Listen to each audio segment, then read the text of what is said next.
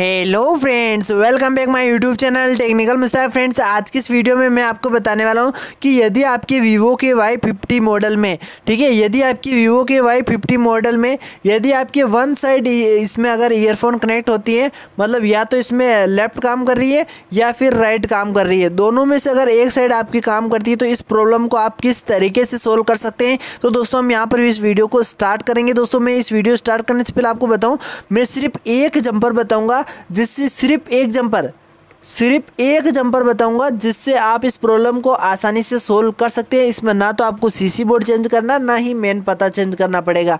ठीक है तो दोस्तों हम यहाँ पर इस वीडियो को स्टार्ट करते हैं। तो सबसे पहले देख सकते हैं हमारे सामने वीवो वाई फिफ्टी का यहाँ पर ये मदरबोर्ड है। और दोस्तों तो ये देख सकते हैं, ये है इसका सी बोर्ड और ये है इसका ईयरफोन का कनेक्टर उसमें दोस्तों जो आपको ये वाली लाइन दिखाई, ये वाली लाइन है, वो है हमारे इसकी लेफ़्ट साइड की लाइन ठीक है? लेफ़्ट वाली लाइन होती है मतलब हमारे स्पीकर में जो लेफ़्ट साइड की स्पीकर है, उसकी लाइन रहती है और ये वाली है इसकी राइट साइड की। ठीक है? ये वाली राइट साइड की है। अब दोस्तों, मैं सिर्फ़ एक जंपर बताऊँगा जिससे आप प्रॉब्लम सोल्व कर सकते हैं। लेकिन उससे पहले दोस्तों, मैं इसका जो ट्रैक है वो समझा देता हूँ, जिससे आप इसको अगर प्रॉपर रिपेयर करना चाहते हो बिना जंपर के तो भी कर सकते हो। तो दोस्तों, सबसे पहले क्या है? ये देखिए। ये वाली लेफ़्ट वाली लाइन है, इस पर आती है जिसको मैं एल लिख देता हूँ और राइट वाली इस पर आ रही है। ठीक है, देखो, ज़्यादा कुछ नहीं है।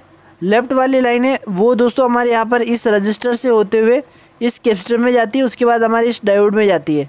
और उसी तरीके से हमारी जो राइट वाली लाइन है, वो हमारे इस वाले रजिस्टर में जाती है, उसके बाद इस कैपेसिटर में जाती है, उसके बाद इस डायोड में जाती है। और उसके बाद दोस्तों हमारे यहाँ पर इस नंबर पे आ जाता है। जो राइट साइड है, वो आती है नौ नंबर पिन पे। जब आप इधर से काउंट करोगे तो नौ नंबर पिन पे तो राइट साइड आती है और इसकी ग्यारह नंबर पे पिन पे आती है लेफ़्ट वाली। नौ नंबर लिख देता हूँ, इधर ग्यारह नंबर ठीक है? और उसके बाद में इसी तरीके से ये हमारे मेन कनेक्टर पर आ जाती है। ठीक है? और उसके बाद दोस्तों ये सप्लाई हमारी आती है सीधा यहाँ पर।